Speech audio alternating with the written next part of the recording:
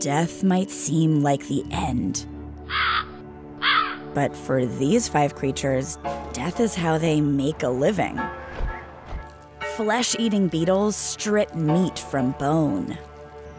Whispering bats stalk their prey by listening for the faintest sounds in the dark, while owls fly so quietly that their victims never know what hit them. And black widows have a deadly reputation, but there's more to the story.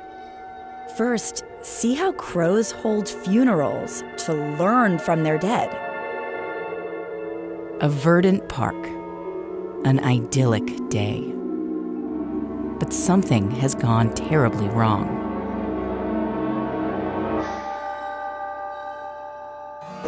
A passerby discovers it first and lets out a piercing call. Ah! Within seconds, everyone in earshot rushes to the scene. It's mayhem.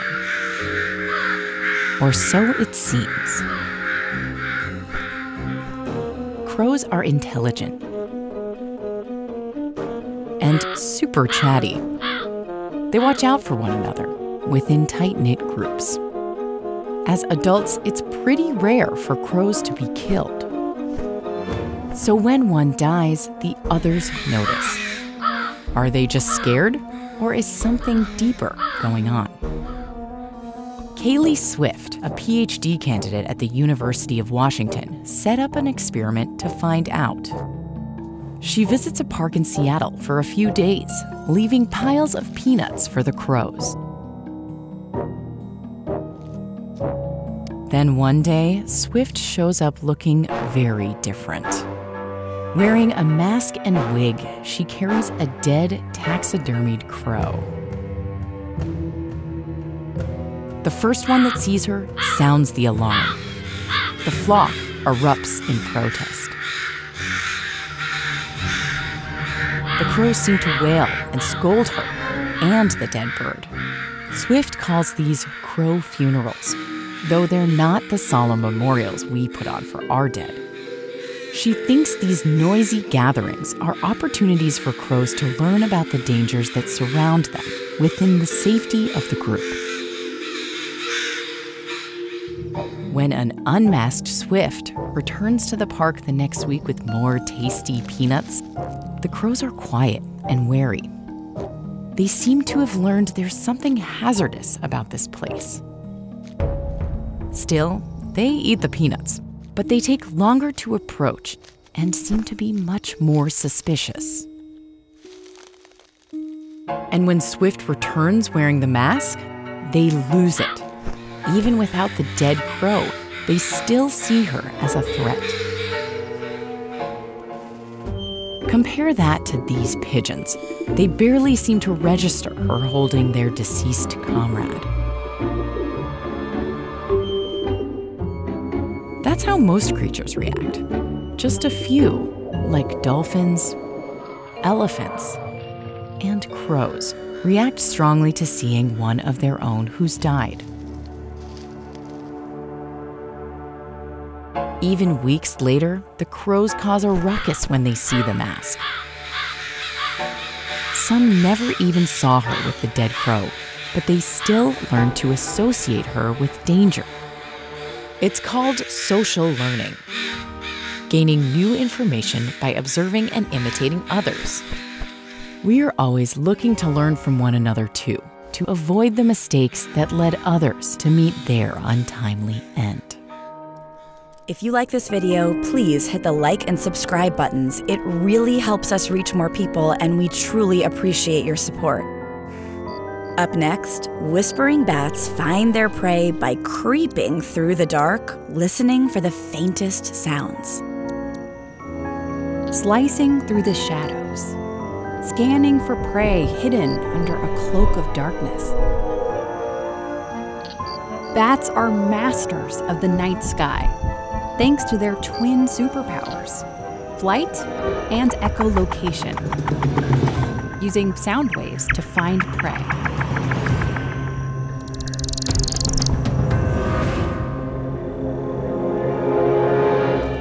So, what the heck is this one doing? It's hunting on the ground and not flying.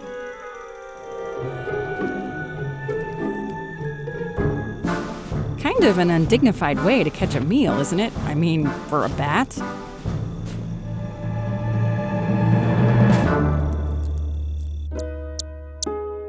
Turns out echolocation, that natural sonar bats use, isn't the killer technique you'd think.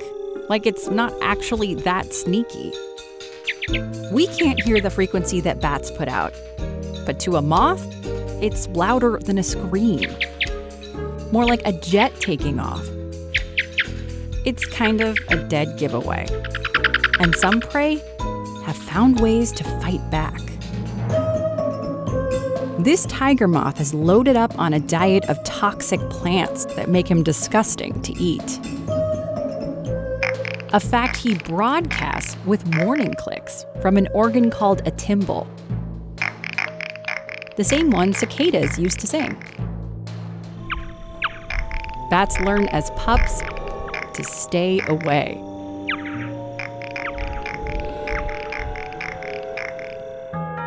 and these hawk moths can scramble bat sonar by emitting clicks from their genitals. It's a dogfight that bats are starting to lose. That's why some, like this pallid bat, are changing the game. She still echolocates, but only to navigate. And she keeps the volume low. She's a whispering bat. When it's time to hunt, she goes into stealth mode. Her ears point down, where scorpions and crickets are milling in the loose earth. And she listens. Look at those ears again. They're huge relative to her tiny skull. They do a great job of capturing and amplifying sound especially the low pitched noises of scurrying prey. And see that funny flap? It's called the tragus. They provide extra information about where a sound is coming from. We have them too, but in a bat, they're way bigger. And the bat has a final card to play here. She's immune to scorpion venom the sting rattles her a little. It's not as graceful as the high flying aerobatics, but hey, it works. If you can stomach more, see how scientists use this beetle's taste for death to help them study life. Death and decomposition are the parts of our biology we try hardest to forget. But to study life, you've got to look death in the face. And try, if you can, to contain it. The Museum of Vertebrate Zoology at UC Berkeley has mastered the art of preserving dead things. They call this the Library of Life. It's an enormous collection, providing future generations of researchers a window back in time. But specimens don't look like this when they get here. They still have flesh, skin, and eyes. These scientists receive hundreds of carcasses a year. It's their job to preserve each animal for long term use in the collections upstairs. And the work is not for the squeamish. They carefully remove skins to be stuffed, take flesh samples, and record stomach contents. The final challenge is to clean the flesh from the bones without damaging them. And to do this, preparators rely on an unlikely ally flesh eating beetles. These dermestid beetles are direct descendants from the original colony established in this museum in 1924. The process was pioneered here. In nature, these charming little creatures are death homing devices. They find a dead body about a week after death and lay eggs in the drying flesh. The larvae emerge with a voracious appetite, outgrowing their skins six to eight times in just days. What makes dermestids ideal for this job is that they're fast and fastidious eaters. They can pick a carcass clean while leaving even the most delicate structures intact. But the alliance between beetles and museum is an uneasy one. Downstairs, the beetles are a critical tool, but if dermestids get loose upstairs, they can wreak havoc in the library stacks, munching through the specimen drawers and ruining entire collections. That's what happened here. So museums try and keep a firewall between upstairs and downstairs, between death and decomposition. And if you think about it, so do we. Consider the modern coffin designed to ward off decay. But decomposition is part of life too. And in the end, the bugs always win. If you love learning about wildlife, subscribe to our weekly newsletter. It's free. Link in the description. Next up, see what makes owls so quiet their victims don't hear them until it's too late. This owl is an ambush hunter. What makes her so deadly?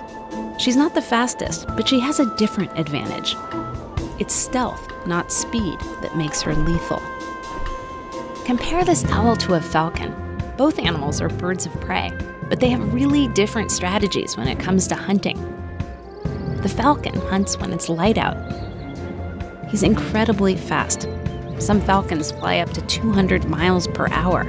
They don't need to be quiet. By the time their prey hears them, it's already too late.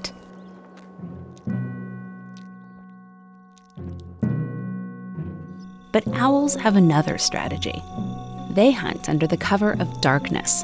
They're sneaky. She has incredibly powerful night vision, and she can zero in on the location of even the smallest noise. Air rushes over her wings as she flies. In most birds, that's noisy, but with owls, there's almost no flapping sound, no rustling. It's quiet.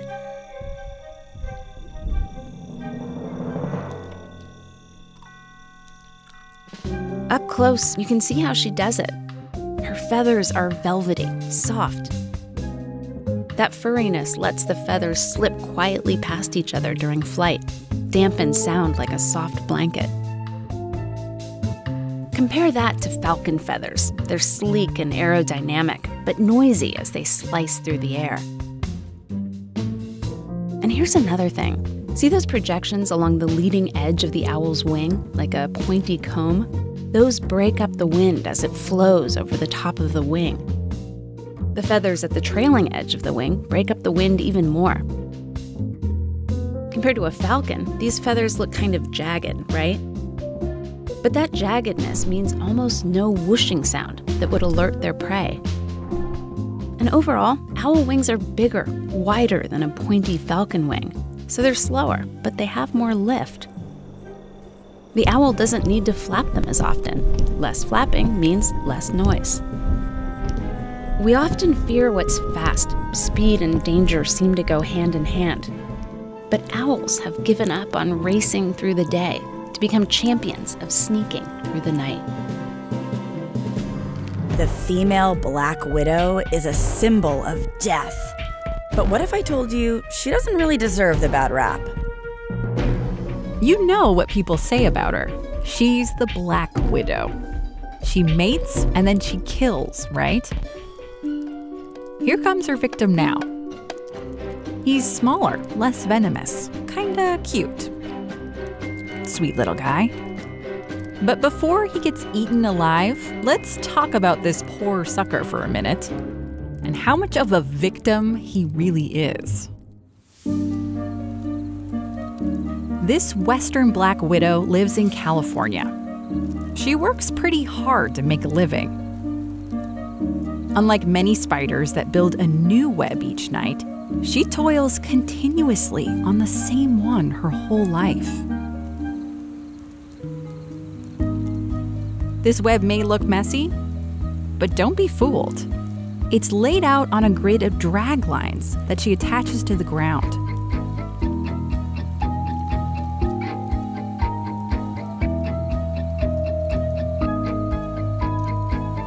It's a multi story sticky trap that stands up to some pretty tough game.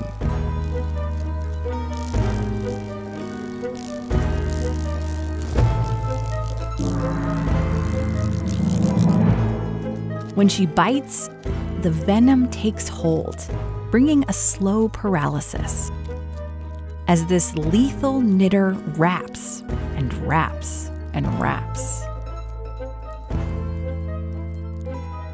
But that's not the only thing hanging around the web. There's this guy.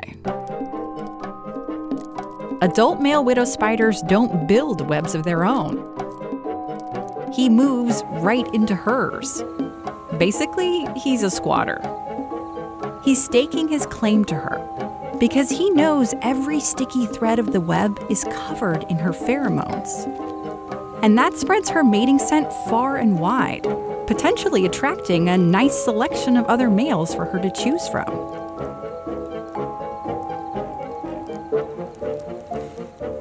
Which is not on his agenda. So he trashes the place. He goes around snipping strands of her web, undoing all her hard work.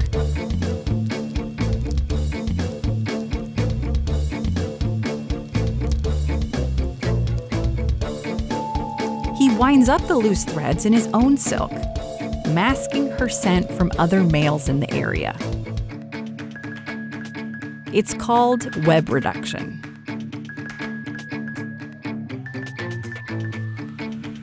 When he finally tries to mate with her, see that vibrating? That's him signaling his interest. He wraps her limbs in his own delicate silk. It probably serves to surround her in his pheromones. Scientists call it the bridal veil. It seems to subdue her, makes her more approachable. When they mate, he leaves behind a piece of this curly Q shaped organ called an embolus in her body. It blocks other males from fathering her offspring later. So let's see lazy, rude, messy, controlling. Okay, now let's watch him get eaten. Actually, in most widow spider species, the males don't get eaten. They escape scot free. The Australian redback is one of only two where cannibalism almost always occurs when they mate. He literally somersaults himself towards her mouth so she can take the first bite, which keeps her interested. Scientists describe it as a self sacrifice. And she'll take her time, devouring his insides later. Least he can do, right? If you like this video, please support KQED, the public media station that creates Deep Look. Donations from viewers like you allow us to continue making our award winning series. Click the link on screen or in the description below. Now, see if you can survive these five tiny bloodsuckers. Chances are, one of them is lurking nearby ready to suck your blood.